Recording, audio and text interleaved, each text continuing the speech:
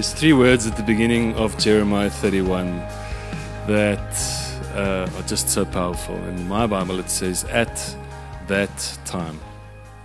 Just say with me, at that time. At that specific time.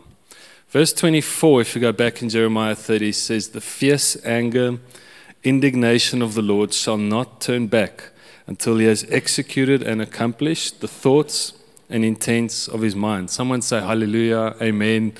Okay, I'm just kidding. All right, if you know me. Uh, but it says, until he has accomplished the thoughts and intents of his mind and heart, and in the latter days you will understand this. Remember last week we said you won't understand everything the Holy Spirit has for you until you've experienced the death and resurrection of Jesus Christ. Remember? So, yeah, Jeremiah 30, verse 24 is saying, The fierce anger of the Lord uh, will be poured out, and he won't turn back until he's accomplished it. And at that time, you will understand it. 30, 30, verse 24, the last verse in Jeremiah 30. Okay, and then it's pointing to Jeremiah 31, verse 1. So God's wrath was poured out on the cross, and then something was released and that what was released was the full understanding of the Holy Spirit and the full understanding of God's power in our lives. And he says, at that time, at that, say, say at this time, because we're sitting after that time, and we're sitting in the fullness of Christ, in the completed work, in the finished work of the cross that was poured out. And so we now have the ability to understand what people of old could not understand. And we now have the ability to receive the Holy Spirit in His fullness. In fact, Jesus says, No greater prophet was there than John the Baptist because John the Baptist got to point out who Jesus was. And we get to live in the experience of who Jesus is. So all the prophets pointed to Jesus. John said, There is Jesus, and now we have the fullness of Jesus. But what needs to happen in all of our lives is we have to have an at that time moment. How many of you have had a how many of you have had a specific moment where you know, whoa, God is pouring out his presence right now? Anyone in the room? like, whoa, whoa, whoa, whoa, whoa, whoa, God is pouring out his presence. So Jeremiah 31 is my personal testimony because it's the first time in my life where I experienced an at that time moment so clearly. And this is what happened. I, I was playing drums in, a, in another church. I was still in, I was first year varsity. And how many of you know that first year varsity is not the most clear place on earth? If you've been out of school for one year, you're like, God, I'm just going to do whatever is happening. Uh, and I decided to study BCom accounting because there was lots of money in being a CA. I was with friends. They, they were like investment management, BA accounting, that's where you need to be. And so, but I never took accounting at school, so it makes total sense for me to study BA, BCom accounting. so, so I end up in this, um, in this, in this, you get like accounting 101 or whatever, and, and then you get one that's for people that didn't do accounting. It's not for dumb people, it's for clever people. Um, sorry, I need to. Uh, the reason I say that, sorry guys, um, there's no way to blow your nose dignified in a dignified way in front of in front of people. it's the greatest fear that I have right now. Believe me. Yeah, just hold on. and uh, it's for clever people because you have to study what, what you've missed in all of school, you have to study in six months. And then in your second six months, you have to study everything you missed in the first six months and what everyone else is studying in the second. You have to study with them. So I don't know if it was God speaking, but in April of that year, I realized it's too much for me. And uh, our class, because there weren't many clever people, was in the theology building, which, if you know, is not the theology section at, at, you know, at Tukkies, isn't the most popular course. So they have the smallest hall. So, yeah, we sit, this small class of accounting students, in the theology building, and God says, You're in the wrong place. So I'm like, Okay, I'm in the wrong place. I, I feel it. It's one of those at that time moments. So I walk outside and, and I say to God, God, if I'm in the wrong place, then you need to show me very clearly where to be. And so I go to band practice, and we finish band practice, and the worship leader comes to me and he says, I enjoy playing with you. Don't you want to move to Cape Town? Because I'm going to start lead worship. I'm going to go, I'm, I'm moving down to Cape Town to, you know, our church is branching out and we're going to start a new campus down there and don't you want to just come with? And I'm going, God, well, I'm not saying God yet. I'm like, okay, yeah, great, sounds cool, cheers. But it can't leave me. It, it cannot, you, you know, when something just doesn't want to leave you and, and it's just there and it, it's. So that night, I am, I'm, I can't sleep. And, uh, I don't know. I know now that it was the Holy Spirit, but I, I thought back then it was just nerves and whatever. And I dare God. I'm like, God, I'm going to go make tea. And if you're speaking, and you better give me a scripture that confirms. Like, like I'm, I'm challenging God. So I'm pouring my. I, and I want to just say, I didn't have a living experience of the word like I do today. I, I didn't have Jeremiah was the same to me as Joshua. I, I mean, I'm like, and God says, read Jeremiah 31. So I'm like, okay, fine. I'll make my tea. It says, at that time. And, and I'm reading, yeah, blah, you know, the people and the Lord. And, and then this verse 6, just, but I want you to see this. I said, I told God, your scripture must say, you must give me a scripture, but it must say, go to the mountain. it must. I, it, it, so I start reading, mm, and it starts to say, at that time, and the Lord appeared, and, and I've loved you. And, and I read that, this, I just shared that. I'm going to get back to this. And, and start, verse 5 starts to just prick my attention. It says, You'll plant vineyards upon the mountains. And the planter shall plant and make fruit and enjoy. And it says there'll be a day when the watchman on the hills. And when I read that, I broke. I started crying because I challenged God. It must say, go to the mountain. And it didn't just say, go to the mountain, it said, watchman. Well, it first said vineyards. And then it said watchman on the hills. And when I was born, my dad wanted to give me the second name Watchman. And this is my mom, she knows.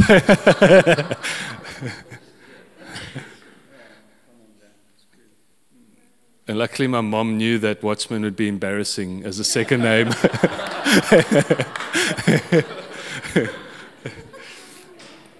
But my dad found a bypass. He found out that Gregory means watchful.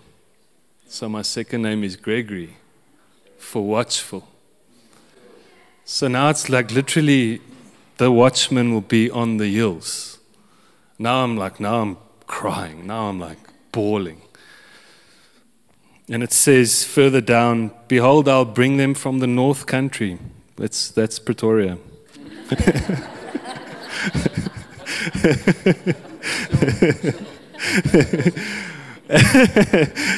and gather them from the uttermost parts of the earth, and among them will be the blind. And I'll cause them to walk by streams of living waters, and bring them in a straight way, for I will not stumble. And they shall come in, verse 12, and they shall come and they'll sing aloud, because I was going down for worship and they shall flow together and be radiant with joy over the goodness of the Lord. For the corn, the juice, the oil, and the young of the flock and the herd. And their life will be like a watered garden, and they will, they will not sorrow or languish in it anymore. And that was the first time I had a real, at that time, specific moment. And it transformed my life because it awakened the scripture, because suddenly I had an experience and I could go back. And now, with ease, I can say, Uh, my name is written in the book of life.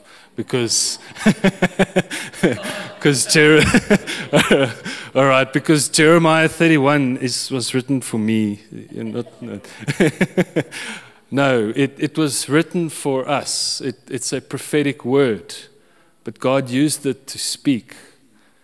And this past while we've been speaking about obedience, preparing our hearts in obedience, preparing our hearts in enthusiasm, preparing our hearts with joy.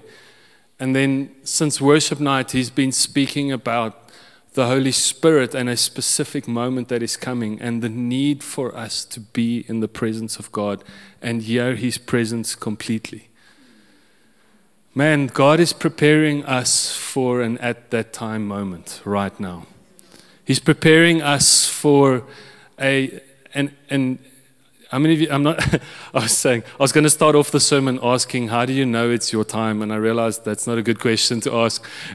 but, but, but, but, but he's preparing us as a body for a specific movement that's going to rock this world, that's going to shake this world, that's going to change this world.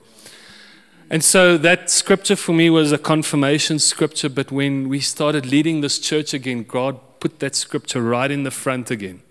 And He said, Now it's the time for the church to walk into that verse, to, to walk into this passage, to walk into this promise.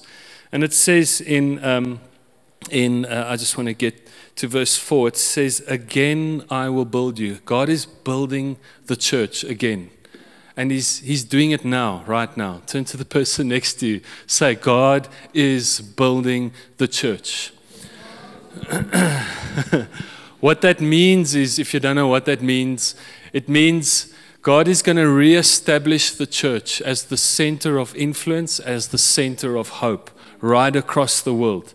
And the church is going to walk out of its staleness and out of its tradition into its influence, into its power. And if we're, the, if we're one of the first churches, we're, we're part of many churches, but there is something happening where we're realizing we're not just waiting to die and go to heaven. We've realized that God wants to pour out heaven into our hearts so that we can demonstrate God's goodness and His presence. And so He's building this church to do that. And then verse 4 it says, So you will again be adorned with your timbrels. Okay. God is adorning us with the sound of praise. He's, ad- he's adorning us with the sound of His presence. Not just with the silence of His presence or the feeling of His presence, but there is a sound of His presence coming.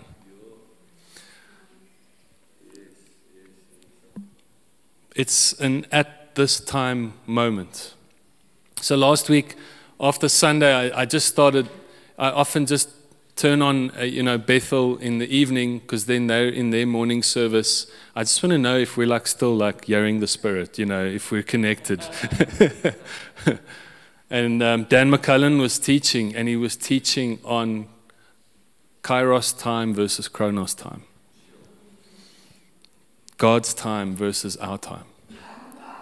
And, and I want to just explain or bring an understanding to, to what Kairos time is. Kairos time doesn't work like our time. Kairos time is God's time. And Chronos time is the time you know. You know, it's like you have to be at school at 7:30. Um, we get there at 7:29 every morning. that, that's Chronos time. And so often people plan their futures according to Chronos time. So they say, well, for me to achieve something, I need to do X, Y, Z. I need to study BCom accounting. And then, okay, me, me, Daniel, Chronos thinking. I'm, I need to do this, to do that, to do this, to do that. And then that. How many of you have worked out those formulas? okay. And then how many of you haven't seen those formulas happen, you, know, like as you thought? And, and so we, what happens is if we, if we focus on, on the world's time, on the world's way of doing things, on Chronos time per se, we, we actually don't allow the Holy Spirit to, to bring in His time. And His time is not an excuse. Let me say that. There's many people that actually just are very bad at managing their lives, and then they say things like, in God's time. How many of you have heard that? So it's not an excuse. God's time is real. God's time requires action. God's time is often a listen, if you don't do this now time, you're going to miss this time. so often it is that. Because you've got to be listening to the Holy Spirit and you've got to be acting in that time. But it's a, it's a, it's a, wow, this, this is the time.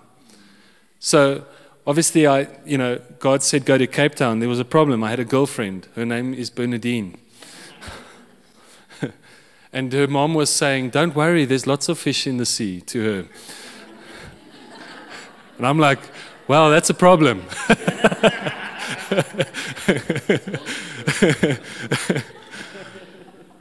she would, she would say I'm a nice guy, but there's lots of.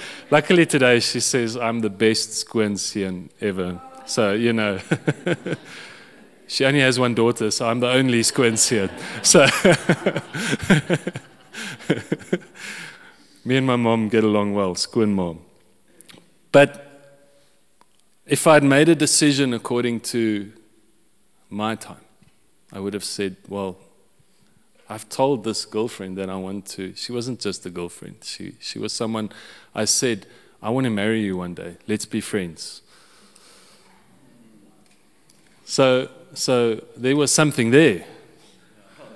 And if I work it out, it's okay, well, then we, you know, have to pretend like we're dating and, and then we have to work our relationship out in a certain way. And one day I'm in, and God's saying, my time. So two years later, I'm in Cape Town.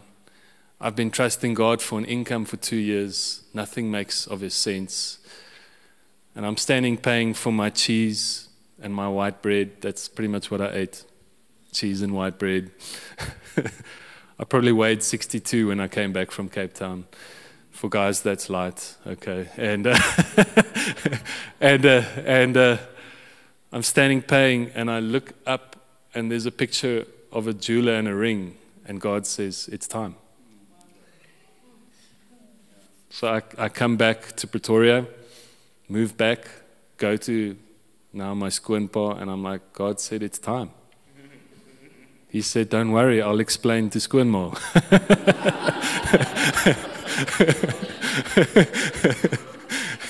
it's time. It, it's just one of those time moments. It doesn't make sense. God's time. I hosted a missionary team, drove them all around. Well, I had a bus driver drive. I drove, it was dangerous, but they drove the bus all around missionary team, drop them off at the airport. They give me an envelope. Inside is the exact amount that I was quoted for a ring. It's God's time. Doesn't make sense in Chronos time. It's God's time. And so there really is just a, a powerful moment. I can just feel that same feeling. I can feel this. It's like I'm popcorn in a microwave. there's, this, there's this energy. There is this, this, this opening up of, listen, I'm going to pour out something great. And it's my time. It's my time. God's saying it's my time. And He's saying that to all of us. He's, he's saying, listen, if we're going to ride the wave of revival, if we're going to if we're going to experience the fullness of God in our lives, then we've got to be listening to that voice and listening to what He's saying over us and in us and through us. It's time, it's time. Verse 8 said, and I read, let's just go to, um, um, let's just, just say, I just want to just repeat uh, verse 3. Uh, and I, re- I read it out in the ministry time, or just quoted in the ministry time, but the Lord appeared from of old to me, saying, Yes, I have loved you with an everlasting love. Therefore, with loving kindness have I drawn you and continued my faithfulness to you. Guys, think about our worship time. think about our worship time. I have continued my faithfulness to you. And then in verse 8 says, Behold, I'll bring them from the north and gather them from the uttermost parts of the earth, and among them will be the blind. Now turn to John 9, and this is just so important. John 9 in the beginning says, As he passed along, he noticed a man blind from his birth. His disciples asked him, Rabbi, who sinned, this man or his parents, that he should be born blind? And Jesus answered, It's not that this man or his parents sinned, but he was born blind in order that the workings of God would be manifest. Now, I circled he. The, the, the, he was born. I circled him. And that the manifest workings of God will be demonstrated because Jesus wasn't saying all people are born blind so that the manifestation and the glory of God can. He was talking to about this very specific person this very kairos moment. He was talking because what happened is Jesus then smeared mud on his eyes, and which he made from his own spit. So, how many of you know that um, that sometimes Jesus did things that aren't repeatable. Okay, so it's not common practice. You know, hey, if you're blind, just come to the front. I'm going to spit on this little, you know, on some on a poiki here, and all right. Jesus was doing something very specific for a very specific time, a kairos moment in time. So what happened is his healing then caused massive debate within the Jewish community. And it started to open up the blind who were in, in, in religious blindness. And it says that because this man was blind and was healed and then was called into the Sanhedrin, and they had a whole debate about whether this man was actually healed with Jesus, it said some of them believed, but some of them didn't. So there was a real purpose to him being healed for that moment. It wasn't just for his own healing. It was so that a, a, an awakening could start happening within the religious community of that time. An awakening of the fact that Jesus was real and that he had come for a specific time and for a specific moment. And if Jesus hadn't healed that man, the awakening wouldn't have started within the Jewish community and within the synagogue. So he was healed for a specific moment and a specific time. In fact, so powerful was the testimony of that man that when Lazarus died and was buried, Martha or said, or, or the Jewish people that were with the family said, Well, if Jesus can heal the blind man, why didn't he, why didn't he stop Lazarus from dying? They were literally pointing back to the testimony of the same blind man that was healed. It was a specific moment. It was a specific moment in time. And so in verse 9, Jesus says, We must work the works of him who sent me. Yeah. Jesus answered him, let me go to verse 3. It's not that this man or his parents sinned, but he was born blind in order that the working of God would be, should be manifest in him. And then he's looking at his disciples, which which today his disciples really represent us in union with Christ, in union with his mission. And it said, We must work the works of him who sent me and be busy with his business while it is daylight. Night is coming when no man can work. As long as I am in the world, I am the world's light. And as I was listening to Dan speak about the difference between kairos and chronos time, I realized that there is a fulfillment that is taking place that I never fully understood. But I know that the kingdom of God is being proclaimed right now. I know that the kingdom of God is for now. I know that we're not waiting to get to heaven, but we're rather waiting for heaven to be to be birthed in our spirits, to be implanted in each one of us so that we can walk in that. But there's always been this scripture that really confused me. And if you think about it only in Chronos time, it, it points to the end of the, the end of the world and destruction and judgment. And it's that scripture that just says there will be no more sun and there will be no more moon. And so I've always got stuck there, like, but the word says there's not going to be a sun and there's not going to be a moon. But what God is actually saying through that prophetic word is that there will be a time when we no longer rely on the timing of the earth. We no longer rely on the timing of the world system, but we fully rely on God's timing. Because in the beginning, God created the, the heavens and the earth, and He created the sun and the moon to remind us of God's seasons, of His timing. But without the Spirit, we rely on timing that doesn't come from Him. And Jesus literally says, Yeah, as long as I'm in the world, I am the world's light. They will no longer rely on the timings and the systems of the world, but we will rely on God's timing, on His voice. There's a massive difference. There's a reliance on that. Let me just say, your past does not dictate what, what lies in your future. What has been built in your life does not dictate what lies forward. What dictates the most where your life will go from this point on is your reliance on the Holy Spirit and His timing and recognizing His timing. And His timing just jumps out at you when you're looking for it. His timing just you know, how many, you know, there's, there's so many movies about trying to find the secret treasure and trying to find the secret way. And, and really, what God has planted in every person is the desire to seek His presence and the desire to seek His ways. And His timing cuts through the timing that we understand. It's an important concept to understand. It's such an important concept. But there's a change that happened in the blind man that is so important for us. And Dan touched on it in his message, and it just sprung out at me in this verse as well.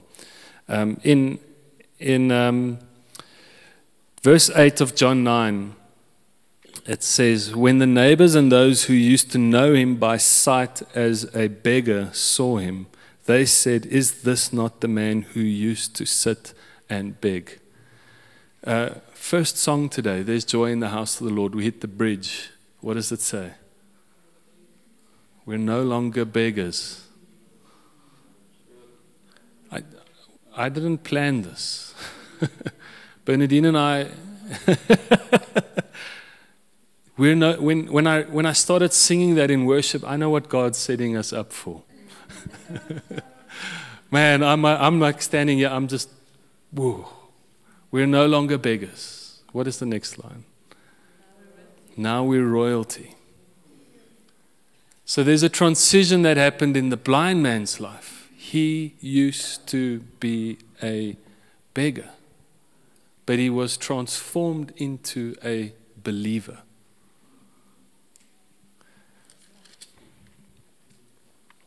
If you turn the page in John 9, Jesus says in verse 37, Jesus said to him, Okay, firstly, the guy doesn't know who healed him because he never got to see Jesus. Does that make sense? he never got to see Jesus before the time. And then Jesus heals him, and his eyes, but by the time his eyes started working, Jesus was gone. So he wasn't healed because he first believed in Jesus. Some of us have an understanding of or we think we know who Jesus is. And I would even go as far as say we miss his act on our life because we're looking for a kind of Jesus. But when Jesus comes in his pure form, he comes in a way that we don't even we can't understand and comprehend. God wants to give us a new language. Some, that's why I said, you know, I just realized that sometimes we just need to speak in tongues so that we can get our head out the way, so that we can bring the sound of His presence without first getting our head in the way, our previous understanding of who Jesus is. So he here's a beggar, and he's, he's healed by someone he couldn't see and had no preconceived idea of who he was. And now, in this conversation, Jesus goes light to him And in, in uh, let me just, verse 35, Jesus heard that they put him out, uh, John 9 35, and said, Do you believe in and adhere to the Son of God? And he answered, Who is he? Tell me that I may believe in and adhere to him. And Jesus said to him, You have seen him. In fact, he is talking to you right now. And he says, Lord, I believe. And so he was transformed from being a beggar to a believer. Now, you're sitting here in this room going, I'm so glad I'm not a beggar. I'm so glad I, I didn't sit on the streets and beg. But Dan, in his message, was pointing, he quoted either John G. Lake or someone who preached a sermon on the fact that many of us are beggars when it comes to approaching God. And we're beggars when we come to Him. And the reason we're beggars is because we expect God in His nature, or, or we have a, a salvation or a gospel that is a come and do gospel. So, what we're always praying for is God to come and do. God, will you come and do? God, will you come and do? God, will you come and do? God, will you come and do? And our prayer time and our expectation starts to sound a little bit like begging. But if we embrace that it's God's time and we have a go and do gospel, starts to change the way we pray. It starts to say, God, how can I be? How can, what can I do? God, what do you want me to do? Where do you want me to step into? And a believer is really someone who understands God's time for his life and isn't asking for God to come and do everything, but is asking God for the how asking God for the provision, not for his own sake, but for the sake of the going. We're built upon the apostles and the prophets. This church is built upon the on, on, and this is what Dan was saying to the churches.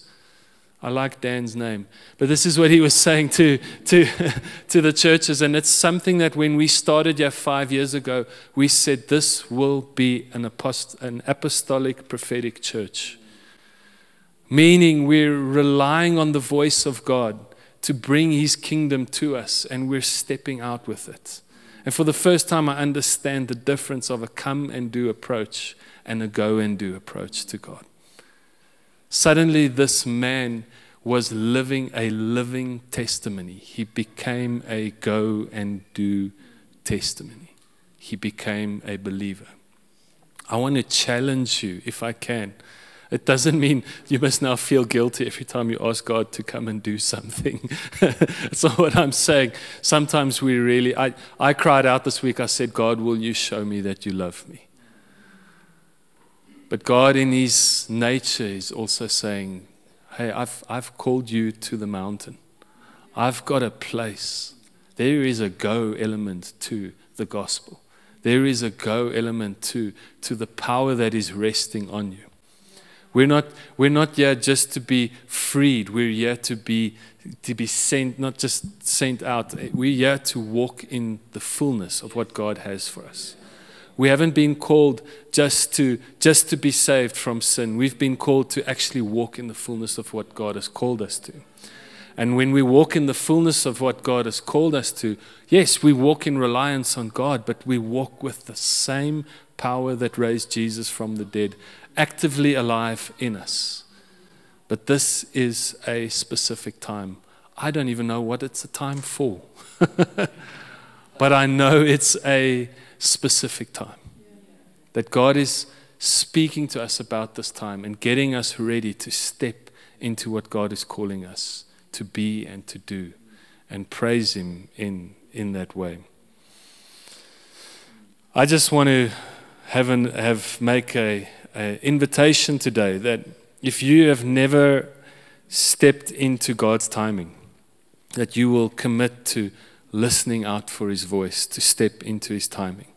Maybe you've lived a good life. May, maybe you've, you've lived a life that, that, you know, like Nicodemus came says, God, I've followed everything. I've done everything. What do, I, what do I need to do to become great? Jesus says, Well, you need to take everything you own, give it away, and follow me. He's saying, take all of those things that you rely on that you think give you your place of a position and authority and follow me, and then you will see great things. Our lives as believers must be marked by the fact that we re- rely completely on the presence of God and, and not on what the world gives us.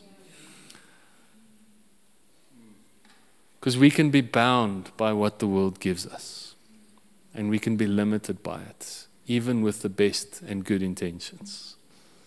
He's calling us to live a life of fullness. And it's a now moment and it's a now time. And I want to invite you to respond. Can I ask the band, can we do that first song again? Um, Joy in the House, yeah, just as, as to finish off and end. I just felt that this morning as we were singing that. But I'm going to just invite you, if you're someone this morning, uh, and and there's, there's, there's a group of people that I specifically just want to pray over. If, if, you've, if you have never had a kairos moment, if you have never fully committed your life to believing, to walking in His process, to, to giving everything over, doesn't mean you become less. It means you become more because you step into the fullness of God and His presence. Don't you just want to lift your, just raise your hand this morning just, just raise your hand where you're sitting. Um, if that's you, if you feel like, man, I, I want to step into this, just lift your hand up high if that's you. Come on, we've got one, we've got two, we've got three, four. Anyone else? All right, where you are, just stand. Just stand. If that's you that's lifting up your hand. Just lift, just stand where you where you are. Father, thank you. Just stand. You want to submit, you want to commit your life to walking as a kairos testament, a, a, testament of God's time and call on your life. A testament as a believer, someone who believes and, and walks in the fullness of what God has called, called you to. Awesome, awesome, awesome, awesome. Come, Holy Spirit. Come, Holy Spirit, in this place. Thank you, Jesus. Thank you, Jesus.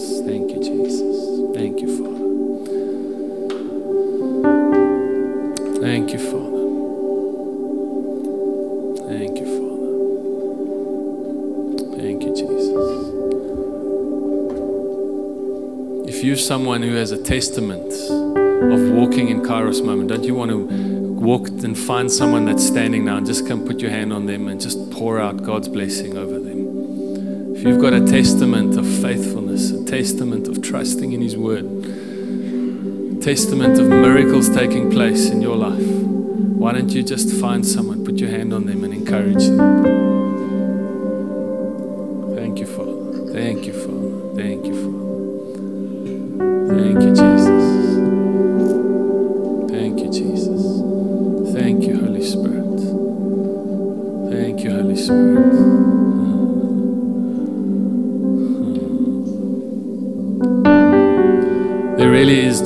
Sweet presence. The Holy Spirit is gentle, He is kind, He is our comforter, He's our leader. The voice of God is powerful. He leads you in victory, He leads you in courage.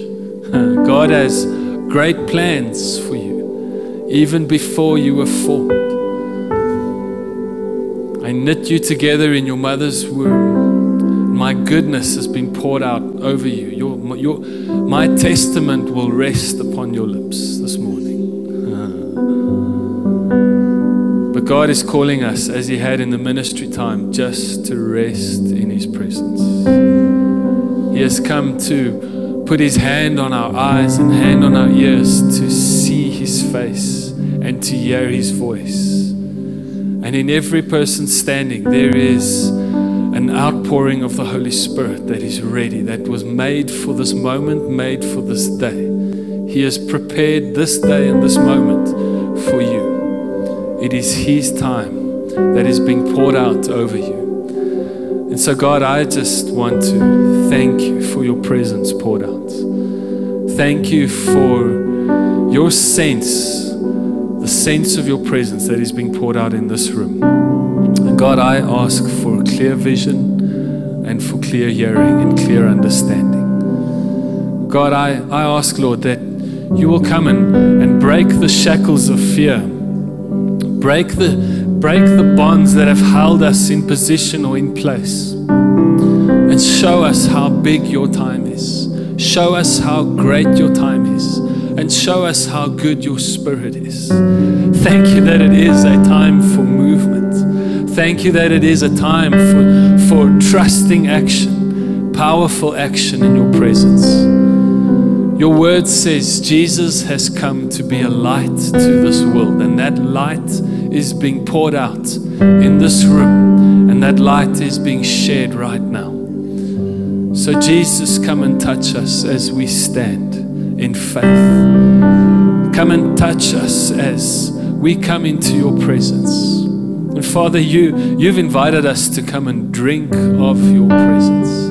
Your word says, If anyone is thirsty, come to me, and I will give them living waters. Living waters that satisfy and bring fulfillment. And we get up out of our position of begging for you for your presence and we walk into the presence that surrounds us. We walk firmly and boldly into the presence that is over us and in us and all around us. And we thank you that your presence was poured out. Your word says, In these times I will pour out my spirit on all flesh. And so, this is the time for the outpouring of the Holy Spirit. This is the time for clear visions, for clear dreams, for clear, for just His, for clearness in our lives. Because you've wiped away the confusion and when you wiped the mud off of his eyes, healing came because you gave sight, you gave vision, and you took away that which was unclear, that which cast doubt, and that which brought confusion. And so we thank you for your clarity in Jesus' name. We thank you that you touch our hearts, minds, and our spirit. Your word goes as far as to say, I will be their God, I will be in them I will abide with them. I will be in their hearts and their minds and their spirits. And so, Father, we receive your fullness this morning. Nothing less than the fullness of the presence of God. In Jesus' name, God's just pouring out that. I just felt that so in the house this morning. If you want to receive a prophetic word, make sure you sign up at the back for, for this, the prophetic session afterwards, if you haven't yet done so. If you need prayer, just come to the front. But we're going to just stand together and just worship one more time this morning and just declare that there is joy in the house of the Lord.